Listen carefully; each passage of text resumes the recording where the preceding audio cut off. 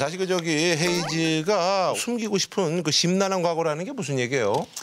사실 뭐 첫 도전이었던 댄스곡이 있었어요. 빙글빙글이라고. 아, 그걸 싸이 쪽으로 옮기고 나서 아, 네, 맞습니다. 빙글빙글. 네, 오늘 밤은 빙글빙글이라는 곡이 있었는데 이제 항상 제가 쓰다 보니까 너무 비슷한 결이고 음. 좀 새로운 도전을 해보고 싶다. 내 손을 안탄 그러니까 프로듀싱을 받아서 한번 불러보고 싶다 해서 이제 그 곡의 데모를 받게 됐고 제가 좀 소화를 못했던 것 같고 사실 이제 춤을 안 추는 거예요, 그럼 앞으로?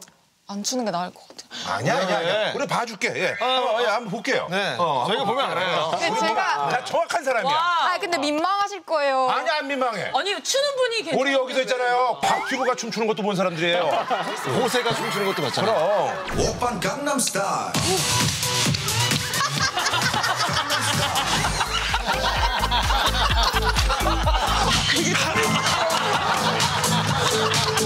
어, 오케이. 망하는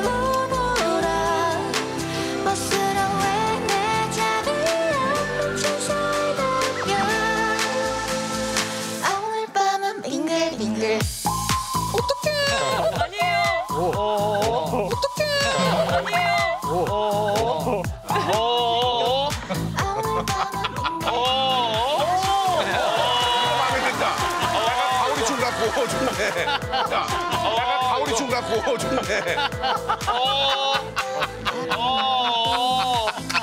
어, 너무 좋다. 너무 좋아. 너무 좋아. 너무 느낌 있는데. 근데 근데 실제 무대에서는 이렇게는 안 했을 거 아니에요? 요거보다 조금 더 엣지 있게 하지 않았을까요?